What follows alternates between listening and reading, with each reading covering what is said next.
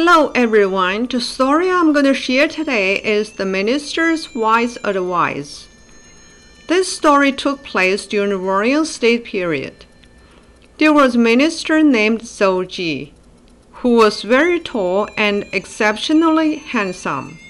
One morning, as he stood in front of the mirror, dressed in his royal court uniform, he asked his wife, Who is more handsome, Lord Xu or I? His wife said, Of course you are more handsome than Lord Xu. Lord Xu was well known for his attractive appearance and was considered the most handsome man in Qi state. When Zou Ji heard his wife's answer, he felt very happy, but in his heart, he was not sure. So he asked his concubine the same question and she immediately said, Of course, you are the most handsome. How can Lord Xu compare to you? That day, a guest came to visit him.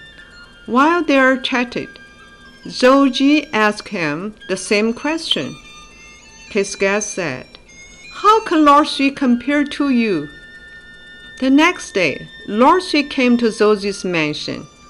Zou Ji carefully looked at Lord Xu over and I felt that Lord Xu was indeed quite handsome. I felt that he could not compare with him. After Lord Xu left, he looked at in the mirror and felt that although he was handsome, he was not as handsome as Lord Xu. That evening, as he lay in bed, he thought, My wife says that I'm handsome because she loves me. My concubine praises me and tells me I'm handsome because she is afraid of me.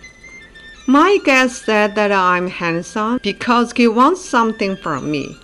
Thus, their answers are not the truth. The next morning, Zou Ji went to the court to meet with King Qi Wei, and he told him the story. He said, I did not know how handsome Lord Xu was, but my wife, my concubine, and my guest all told me that I'm more handsome than he. They all tried to make me happy, but no one told me the truth. I'm telling you this story to ask you to think about something. Our Qi state has a large territory, 120 cities. The queen and all your concubines love you. All your ministers are afraid of you. The common people all come to you for help. Think about it. Perhaps none of them are telling you the truth. They have their own agendas, and all of them want something from you or plan to cheat you. Is there anyone you can trust to tell you the truth? Isn't this a big problem? King Qi listened to Zou Ji and felt that what he said was reasonable. Thus he issued decree. It says, All my subjects, no matter who you are, if you will point out my mistakes in person, you will be granted high reward. Those who point out my mistakes in writing will be given mid-range rewards. Anyone who talks about my fault among the crowds and point out the shortcomings of the government policies will be given lower reward. After the decree was posted, ministers and people from all corners of the country all came to point out King Qi's mistakes and to tell him about his shortcomings. Every day, people crowded into the royal court. King Qi carefully listened to their criticism and suggestions and tried to act on them. This went on for several months.